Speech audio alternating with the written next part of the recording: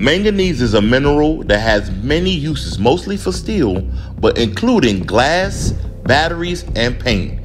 Here are the world's top 10 manganese producers.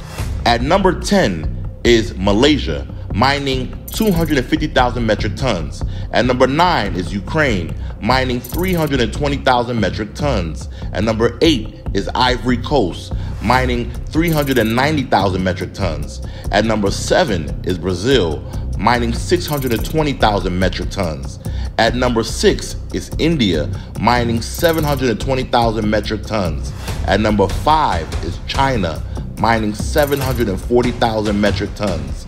At number 4 is Ghana, mining 840,000 metric tons.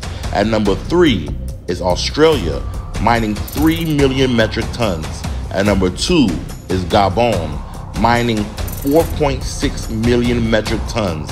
And at number 1 is South Africa, mining 7.2 million metric tons of manganese.